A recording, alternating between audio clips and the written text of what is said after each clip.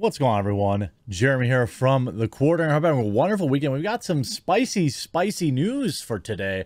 It appears that Joe Rogan has been pulled from tonight's UFC broadcast by Disney and or ESPN. They all they're all the same company, as well as Jon Stewart coming out and defending uh, Joe Rogan, and uh, the left is big mad about it.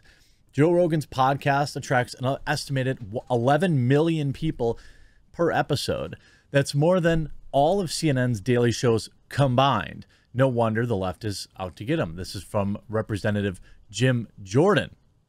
And then we see this article on the New York Post. Jon Stewart defends Joe Rogan over misinformation label. Jon Stewart is coming to the defense of fellow podcaster Joe Rogan over the uproar, uproar surrounding misinformation, quote unquote that prompted calls for Spotify to sever ties with this $100 million star. Stewart, the former star of Comedy Central's The Daily Show, who is now hosting his own GabFest on Apple streaming service, said Thursday that canceling Rogan would be akin to banning Stewart from television for his opposition to the uh, situation in Iraq back in 2003. Quote, the New York Times is right. Uh, the New York Times, right, was a giant purveyor of misinformation and disinformation, Stewart said, of the newspaper's editorial support for the Iraq War. And that's a vaunted media organization, a vaunted media organization as you can find, but there was no accountability for them. The Times and other mainstream news organizations were criticized, unquestion, criticized for unquestioningly reporting the Bush's administration's claims on Saddam and all this type of stuff. Uh, no such things were ever found, according to Rogan, or I'm sorry, to Jon Stewart, after American troops removed him uh, and installed a friendly government in Baghdad. Stewart said Thursday that he was very vocal about opposing. Now, some soldiers have emailed me when I've said that claim that they never found anything and said that they did. I don't know, but I don't know that we knew that at the time. I think that they maybe found them. You know, if it was if we knew that he had them and that he was developing them, you feel like we would have found them quicker. But that's neither here nor there uh, at the time, there was a lot of question as whether or not that was actually the truth about why we were going there. Couldn't I have gone down and fallen for this if Viacom or Comedy Central had wanted to censor me or had taken me off the I'm not an owned by a platform nobody is, he said. Stewart added, but my point is these are shifting sands, and I think I get concerned with, well, who gets to decide? Rogan hit out at mainstream media, uh, outlets such as CNN on Tuesday, Thursday, calling them dishonest for his portrayal of his podcast. Well, I think what Jon Stewart is trying to say here is a lot of this situation is fluid, especially in the case of the COOF, right? Um, we now know there's been they've gone back and made revisions to things. They've come out and said like, oh, hey, you know, cloth is you know less effective than we thought. All these sorts of things now are coming out that Rogan has just questioned along the way, and everyone seems okay with it. Um, you know, nobody seems to care that uh, all this information was wrong because it came from St. Fauci. And even I, as much as I hate him, um, have said that he's been put in an impossible position. Um, I don't like the guy. I, I mean, if you need to look into some of the stuff he's funded, it's appalling. But also, like, he didn't know. He pretended he knew, and that was the problem. Our government foolishly thought that the American people needed expert advice and no wiggle room, so they came out and said, in my opinion, this is the way it is. And if you say it isn't this way, then we're going to ruin your life. The problem is, people were on the streets seeing that it was maybe not always that way, and they ruined their own credibility. When the when the whole I made this um, comparison early on when, uh, my state tried to lock us down and they got overturned by our our our Chad Supreme Court. The way the rhetoric that my governor was using, you would think they were stacking bodies in the street like cordwood. Yet every hospital people drove by, where I live, where I live, was empty. I know that there are some that were overrun. I'm not disputing that. But where I live, I'm only talking about my specific example. So then when I would go to the pub and we'd talk about it, I was like, what is going on? Everyone's here. Nobody's, you know, this all the same people are here. Everything's fine. It felt that way, you know? And then so our government's like, no, you don't understand. This people are, you know, it's everywhere. It's like the the zombie apocalypse. That's the rhetoric that my governor was using, and uh, it killed his credibility. You know, it was like, whoa, I'm walking on the street and it's not on fire like you said it was. Um, yes, there were areas, not so much in Wisconsin, but in other areas uh, that were like in New York, you know, and I think New Orleans or Louisiana or something. He got overrun, but it just wasn't that way here. Anyway, um, now uh, we see more people coming out and saying like, "Hey, I mean, I will say this about Stewart. He also went on, um, I think it was Colbert's show, and he like basically brought up he he brought up the, uh, you know, he directly disputed the government's position on this. Now, here's something very interesting.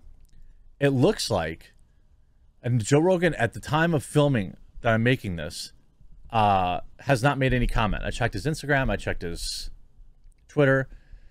Joe Rogan is no longer on the call for UFC 271, which is also, by the way, a great card. Uh, as controversy swirls around the popular podcaster's uh, uh, MMA color commentator, a UFC official confirmed to the Post that Rogan will not be on for Saturday's event. Now, citing a quote, scheduling conflict. Except it looked like Michael Bisping, who they brought in last second uh, to cover him, like I'm pretty sure he would have known about said scheduling conflict. Um, and he certainly would have come out and addressed this by now, I feel like. Um, Michael Bisping is being is replacing Rogan on Saturday's telecast alongside uh, Daniel Cormier and Jon Anik. Uh, Rogan has been persistently in the news recently due to his Spotify exclusive deal, the Joe Rogan Experience, Neil Young, Joni Mitchell. Look, what this is is is Disney. It's it's Disney, right? I would think. It, I mean, I'm I'm like live checking his Instagram right now. He he just posted this video uh, of uh, Israel. Uh, I'm not going to mispronounce his name again. Defending him. Much love and respect. So he hasn't he hasn't posted anything about not being able to make it. He hasn't posted anything about a scheduling conflict. So I I tend I tend to not believe it, right? I tend to to to think that um, this is baloney and Disney did it because Disney owns ESPN. Even Jake Paul rips ESPN Disney's decision to pull Joe Rogan from UFC 271 broadcasts, but stand behind Dana White. He's got this cringe feud with Dana White, but it's interesting. In wake of the announcement that Rogan won't call Saturday's event, Paul decided to chime in, although the reason behind his withdrawal was revealed to be a quote scheduling conflict. Paul apparently believes the UFC broadcast partner, Disney ESPN, decided to remove Rogan amid his multiple controversies. I believe they did too. That's absolutely my belief. And you can see uh, uh, fake boxer Jake Paul writing so ESPN and Disney pulled Joe Rogan from the UFC broadcast, but stand behind Dana White, who calls reporters douchebags they are, says female a female fighter looks like a male fighter and dressed in heels. Well, maybe they did. I don't know. And claims brain damage is part of the gig. You pulled the wrong guy, Mr. Chapek. Um, you know, I, I don't know.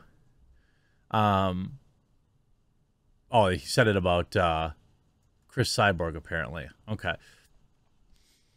I mean, you could see here if they really pulled Joe Rogan, I will never buy another UFC fight again. I don't know. I mean, I I, I honestly suspect that they did. I really do. I mean, why wouldn't Joe Rogan come out? I mean, this is a huge card. Joe Rogan would have come out. Well, I have an Instagram account. I keep forgetting I have an Instagram account. If you check my link tree in the comments section down below, you can uh, find my in, my Instagram account.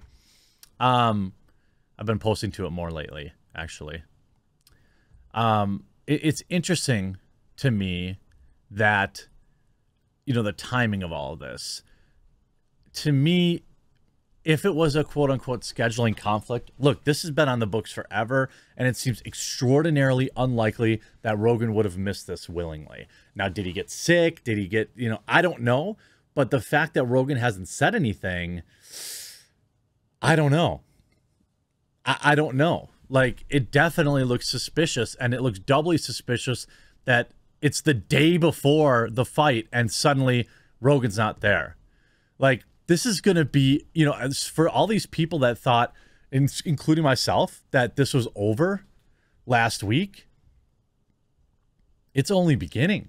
If Disney and ESPN deplatformed him, I don't think he's going to stay silent. He already knows Spotify isn't going to drop him. He's already like walked through the fire uh, for Spotify, and I don't think that like there's very little now that would get him. If anything was going to get him, we would already know about it. And um, you know, Spotify's already doubled and tripled and quadrupled down on him, so there's really no point in backing out now. And um, if ESPN and Disney really pulled him, this is going to have a huge rippling effect with uh, ripple effect with the UFC in general. And I would be uh, shocked if Dana White. I mean, Dana White is so loyal. I could see him. I could see him saying like, "All right, I'm I'm not doing any more business with ESPN." Like I could literally see him do that. He he um he's that much of a of a ride or die dude. That's how it seems. Maybe people that know him would tell me differently, but it sure looks suspicious the day before to have a quote unquote scheduling conflict. Nobody's buying it, and Joe Rogan's going to have to say something. Otherwise, if he continues to say nothing, then we'll know that it was just Disney and ESPN pulling him. Hey, if you're new to the channel, you just came across this video and you like cattails, if the please do consider clicking the red subscribe button down below the video. YouTube does not share out my videos. The only way you'll find them is by subscribing, and I appreciate it greatly. I know sometimes you have to create an account or whatever, and it's a pain, but I would really appreciate it. If you're watching on some other alt tech platform, Odysee, BitChute, Rumble, please subscribe there too. Hope you enjoyed this video. We'll talk to you again real soon.